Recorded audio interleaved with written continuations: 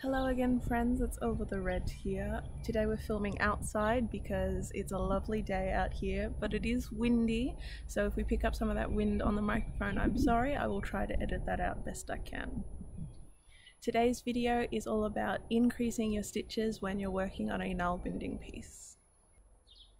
In the last video, we looked at starting a nalbinding piece from the closed end of a garment and working our way up from there. This is a continuation of that video, so if you didn't see that one, feel free to go watch it and come back to this one a little bit later. For those of you who have watched it, what we're going to do now is increasing. So we're going to work our way.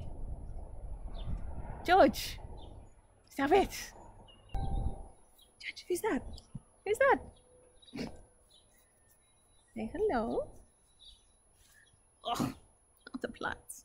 In this video, what we're going to do is start increasing, which is a necessary component of graduating from your starting point to the width that you need for whatever garment you're working on. For example, if you're making a pair of socks, you'll use the closed end starting point and use increasing to widen your piece to the width of your foot. What you'll need for this video is the sample piece that we started last time and your needle, and of course some extra yarn. Let's clarify some things for the new viewers. When I talk about old loops, I'm talking about the previous row of stitches you have done.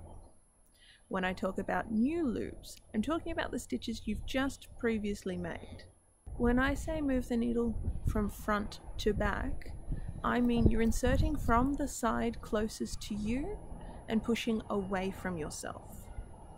When I say insert the needle from back to front, I mean you are inserting the needle from the side of the fabric away from yourself and pushing the needle towards yourself.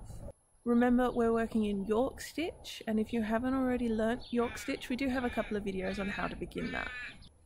Whether you're carrying on from our previous video or you're starting a different piece entirely and you're up to the point in which you need to increase, what you need to do firstly is create one stitch of York Stitch.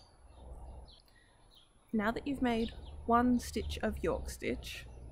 Insert your needle from front to back like you would normally for one stitch of York stitch into the exact same two old loops that you did for the previous stitch.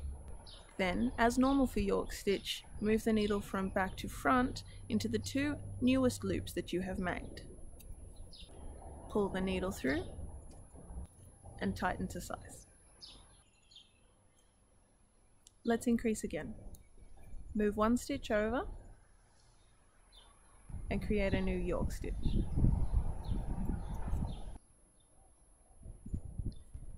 Place your needle from front to back through the same two old loops that you did your previous stitch into.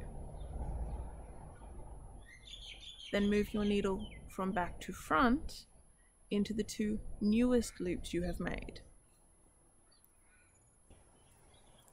That's the basics of increasing with nalbinding in York stitch.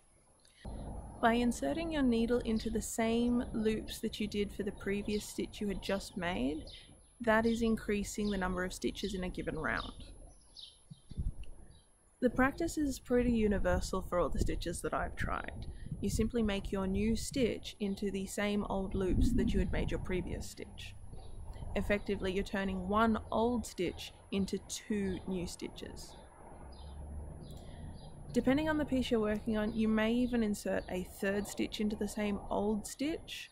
Uh, that creates a more dramatic increasing effect, but it is still important in certain applications. The most I have ever had to insert into a single stitch is four stitches, and that was a very severe uh, increase, but generally speaking, if you're making things like socks and mittens, you'll only ever need to increase one extra stitch uh, into an old stitch. It's important to note that if you increase too many stitches in a given round, your piece won't lay flat or it won't curve in the way you necessarily want it to um, and instead what you'll get is a sort of a wave effect at the edge of your fabric. It means that you're increasing too much for the size of the round provided you haven't increased extensively like for a number of rows uh, you should be able to mitigate this by not increasing as heavily as you think you should into the next round. It sort of evens it out a little bit. How many stitches to increase into a round is very subjective and it will depend on the stitch you're doing and the gauge of your needle or whether or not you work on the thumb or off the thumb Similarly, if you're not increasing fast enough, your piece won't reach the width that it needs to be at the point that it needs to be. And while most stitches are fairly forgiving, that there's a little bit of stretch to them so that they will sort of uh, move themselves around whatever object they're supposed to fit. Uh, for, for socks, for example, they will stretch in a certain way around the features of your foot. Um, it will mean that you might have mismatched socks if you don't consistently uh, increase over the, the same space over both socks.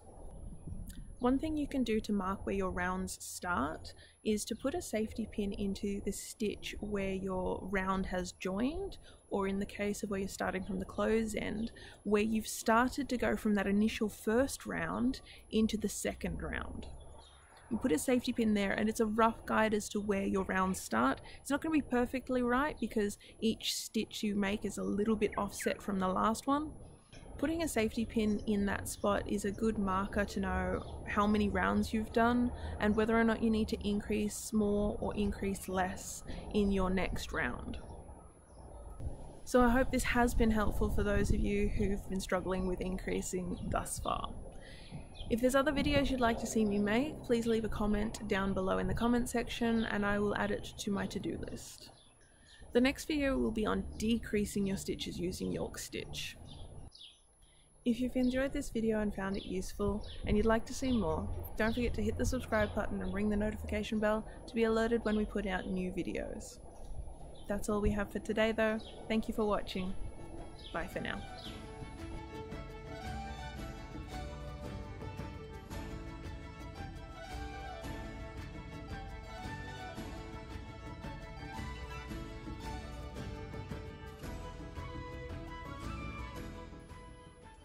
Oh, it got very bright very quickly. It was lovely and overcast. But the sun has come out to scorn me.